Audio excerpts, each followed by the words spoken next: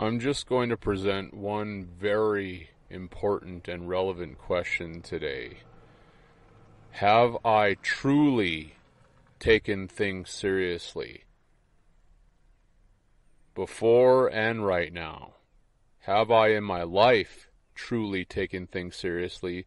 And at this moment, am I doing the same? Or even more so? This is all about vision. I've said this many times. And if one truly realizes that, then it's realized one must take things seriously in this place. If one doesn't, then you're treating it like a joke. You want to be part of the circus, more focused on wanting to just be entertained constantly and thinking that it all means nothing.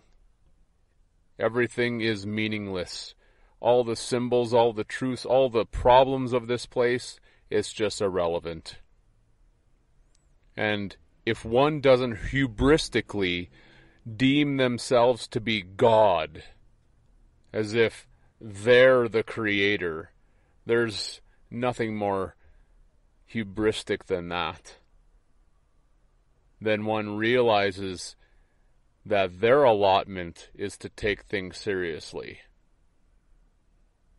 It's hilarious when people deem themselves to be God. That's what the clown ruler of this realm does. So the question is Am I truly taking it all serious or just treating it all like a joke?